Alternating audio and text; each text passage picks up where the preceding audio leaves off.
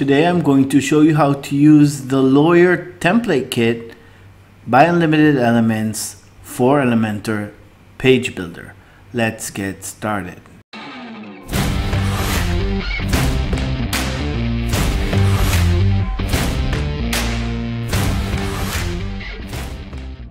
Hi and thanks for joining. It's Amit from Unlimited Elements, the one and only widget library and widget creator for Elementor Page Builder. Today in the tutorial, I will show you how to use template kits, which is another part of Unlimited Elements.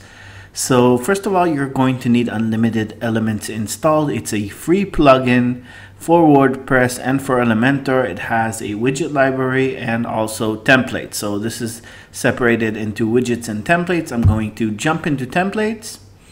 And over here in templates, you have different kinds of categories, template kits, digital business cards, or CV resumes. And each one of these has a thumbnail. Today we're going to be talking about Justice, the lawyer template kit. I'm just going to click on that once and it will load all the different pages that this template kit consists of. Now once you install this template kit, you don't need to install all the pages.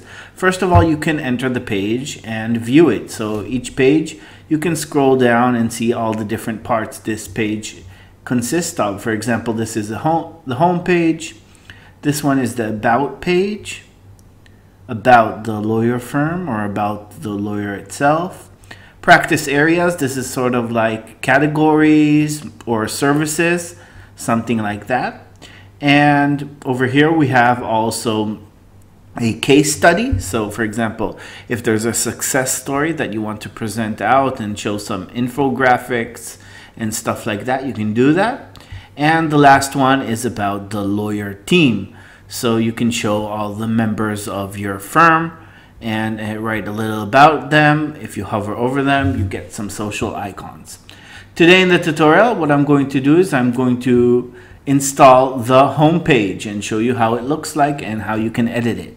So for that, over here we have a section called Create Page from Template, which is exactly what I want to do. I'm going to give that a name and I'm going to click create page. Now it's importing all of the different widgets, all the image assets, and all the text and layout from Elementor.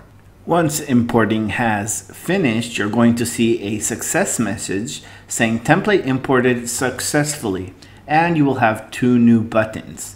The first button is to view the page just to see it, and the other one is in edit with Elementor. What that will do, it will allow you to open directly this exact page that you created and start editing it inside of Elementor Page Builder. Once the page is loaded, you can scroll down and see all the different sections we have in this template. And you can click on any section or widget and start editing it. For example, this logo carousel is part of Unlimited Elements and it came with this template. If I click on items, you can see over here all the different items of the logos. You can replace the logos and put whatever you want. Also this, you just click on it and edit. This is also a widget that came from Unlimited Elements. So I hope you found this tutorial helpful and I'm going to see you in the next video.